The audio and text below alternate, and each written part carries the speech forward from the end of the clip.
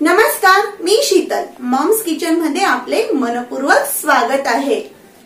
आज आपण बनवणार आहेत दाल तडका आणि जिरा राईस. अतिशय सोप्या पद्धतीने मी ह्या रेसिपी तुम्हाला आज सांगणार आहे. डाळवर टाकली जाणारी फोडणी अगदी झणझणीत कशी बनवायची ते या रेसिपी मध्ये सांगितलेलं आहे. त्याचबरोबर अगदी मौसूद आणि तितकाच चविष्ट पांढरं शुभ्र जिरा राईस कसा बनवायचंय हेही ह्या रेसिपीमध्ये मी तुम्हाला सांगणार आहे. तर ही रेसिपी बघताना न स्किप करता बघायची आहे. तर चला बनवायला सुरुवात करूया. दाल तडका आणि जिरा राईस. तर सर्वात आधी डाळीचं प्रमाण बघून घेऊया. तर इथं एक कप तुरीची डाळ वन फोर कप मुगाची डाळ घेतलेली आहे. तुम्ही इथं मसूरची डाळ घेतली तरीसुद्धा चालेल किंवा अख्खा मूग घेतला तरीसुद्धा चालेल. इथं स्वच्छ पाण्याने धुवून तयार झालेली आहे डाळ. तर मी यात थोडा वेळ पाणी राहू देते. कुकर गॅसवर गरम करण्यासाठी ठेवलेला आहे. त्यात साधारण दोन कप पाणी घालून घेते आहे. पाणी उकडतं तोपर्यंत आपली डाळ ही व्यवस्थित भिजून तयार होते. पाण्याला उकड आल्यानंतर यात टाकायचं आहे अर्धा टीस्पून हळद. तुम्ही इथं तेलही घालू शकतात. आता डाळीतलं पाणी काढून घेतलेलं आहे आणि ही डाळ आता उकडलेल्या पाण्यामध्ये टाकून घ्यायची आहे.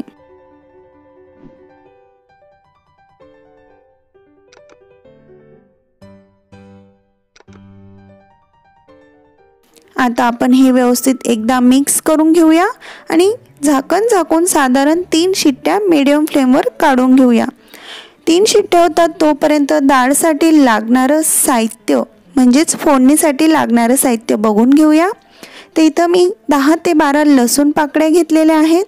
याला बारीक कापून घेतलेल्या आहेत बघू शकतात.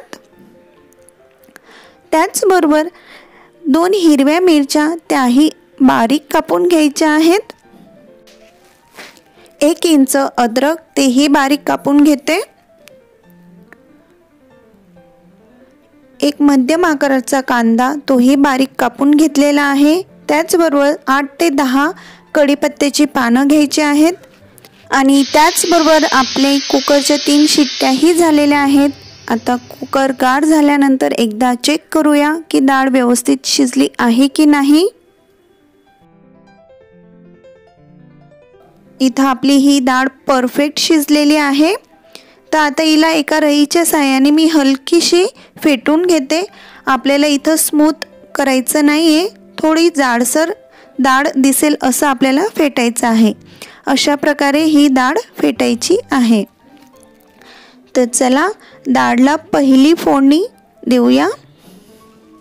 तर इथं मी गॅसवर एक कढई ठेवलेली आहे आणि कढईमध्ये साधारण एक टेबलस्पून तेल टाकून घेतलं आहे तेल गरम झालं आहे तर यात एक टीस्पून मोहरी एक टीस्पून जिरा छान तडतडलेला आहे आणि त्याचबरोबर आठ ते दहा कढीपत्त्याची पानंही टाकून घेतलेली आहे. यात आता बारीक चिरलेला कांदा टाकून घेते. या कांद्याला आपल्याला हलकासा सोनेरी रंग येतो तोपर्यंत तेलामध्ये व्यवस्थित फ्राय करायचा आहे. तुम्ही इथं तेलाऐवजी तूप वा वापरलं तरीसुद्धा चालेल. आता यात बारीक चिरलेली हिरवी मिरचीही टाकून घेते. त्याचबरोबर अद्रक लसूण हेही यात टाकून घेते. इथं आपल्याला कांदा हा हलकासा सोनेरी करायचा आहे. जर जास्त ब्राऊन झाला तर तो वरणामध्ये दिसून येईल. तर चला इथं छान व्यवस्थित फोडणी तयार झालेली आहे. तर यात मी टाकून घेते हाफ टीस्पून हळद. आणि आता शिजलेली डाळही टाकून घेते. अतिशय सुंदर टेस्ट येते ह्या डाळला. ह्या डाळचं कॉम्बिनेशन तुम्हाला आत्तापर्यंत कोणीच सांगितलं नसणार. परफेक्ट ढाबा स्टाईल ही डाळ बनून तयार होते. आता कुकरमध्ये थोडीशी डाळ चिकटली होती म्हणून मी कुकरमध्ये साधारण एक ते दीड ग्लास गरम पाणी टाकून ते कुकर धुवून पाणी टाकून घेतलेलं आहे. चवीनुसार मीठ टाकून घेते. आणि हे पुन्हा एकदा डाळ मिक्स करून घेते. ह्या डाळला आता एक उकड काढून घ्यायची आहे. एक उकड येते तोपर्यंत आपण जिरा राईस कसा बनवायचा आहे याची प्रोसेस बघूया. तर सगळ्यात आधी इथं मी दोन कप इंडिया गेट बासमती हा राईस घेतलेला आहे. तो आता पाण्यात भिजत घालूया. आपण साधारण दहा ते पंधरा मिनटं. तुम्हाला हवा असल्यास तो तुम्ही राईस घेऊ शकतात. तोपर्यंत फोडणी देऊया. तर इथं कढईमध्ये एक टेबलस्पून तेल टाकून घेतलेलं आहे. तेलऐवजी तुम्ही तूप वापरू शकतात. यात मी जिरं दोन टेबलस्पून टाकते. जिऱ्याचं प्रमाण थोडं जास्त असायला हवं. आठ ते दहा कढीपत्त्याची पानं एक तेजपत्ता पाच ते सहा हिरवी इलायची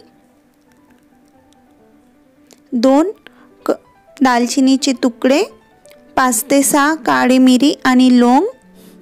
छान खमंग फोडणीचा वास येतो आहे. आणि आता यात टाकूया साधारण तीन कप गरम पाणी. पाण्याला छान व्यवस्थित उकड येऊ द्यायची आहे.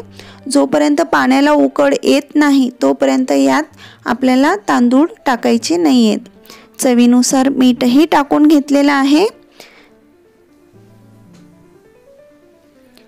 तुम्ही बघू शकतात पाण्याला छान उकड यायला सुरुवात झालेली आहे.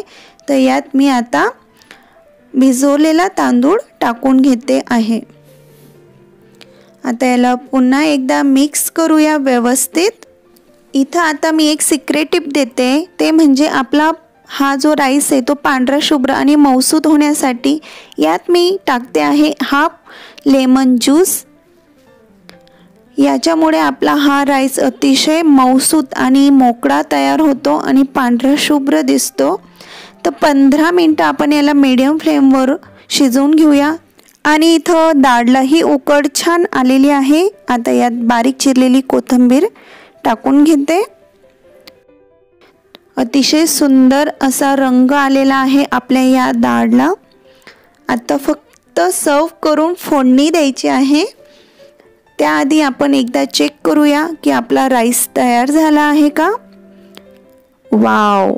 इथं आपला परफेक्ट हा पांढरा शुभ्र आणि तितकाच मौसूत राईस तयार झालेला आहे. तुम्ही बघू शकतात एक एक कण मोकळा झालेला आहे या राईसचा.